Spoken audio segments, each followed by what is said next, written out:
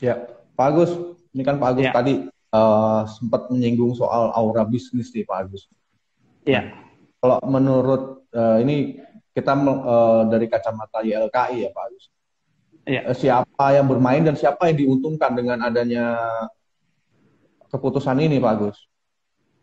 Ya, kalau eh, YLKI memang belum menelusuri lebih jauh siapa yang bermain di situ. Tetapi bahwa apa kita bisa mengendus bahwa ya ini apa ada bisnis di dalamnya. Kita menduga bahwa eh, ada permainan-permainan yang itu memang memuluskan atau menghabiskan dalam tanda kutip stok PCR yang kemarin eh, sudah terlanjur diimpor seperti itu. Ya. Jadi eh, karena kondisi COVID yang melandai, nah akhirnya ini harus harus ada cara untuk kemudian eh, mengeluarkan atau menjual eh, kits tersebut.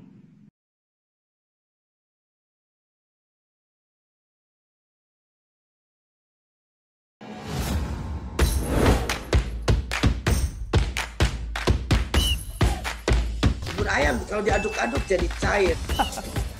Seriously. diaduk kayaknya ya.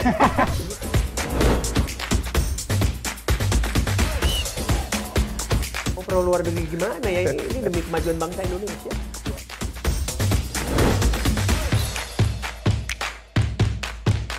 isu kebangkitan eh, PKI ini eh, dihentikan.